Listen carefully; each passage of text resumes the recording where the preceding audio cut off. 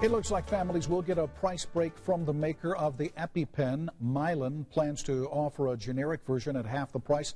Tom Costello tells us about the company's change of heart after a huge price hike over the last few years for the life-saving injection.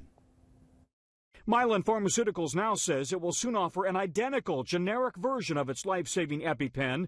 Rather than $600, $300 for the generic. A 50% discount, but not the typical 90% discount common with most generics. This is all a very convoluted mechanism to distract from the real issue, which is that Mylan has been price gouging the American public for years. The evidence, say critics, two moms in two different countries. In North Carolina, Tracy Bush keeps three EpiPens on hand for her son, Devin. A few years ago, my son had a reaction to watermelon, and it was literally seconds that his throat started to close up. The price, $600 each. Meanwhile, in Canada, five year old Lucien Gavin also has life threatening allergies all dairy, peanuts, tree nuts, eggs, wheat, and chicken.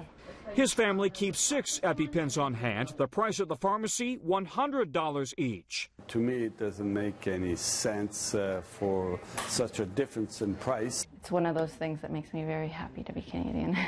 Why the price difference? The marketing is not the same in Canada. They negotiate prices because there's drug plans. So all of the drug plans they'll be buying in bulk. It's provincial governments that are negotiating the prices. So they try and bring the prices down.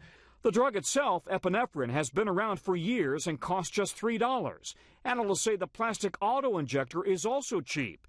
Last week, Mylan CEO Heather Bresch blamed the skyrocketing costs on middlemen who demand bigger and bigger cuts. Our health care is in a crisis. It's no different than the mortgage financial crisis back in 2007. This bubble is going to burst. Now, Mylan makes $1 billion a year on EpiPens. Mylan expects its generic brand to be on the market in the coming months.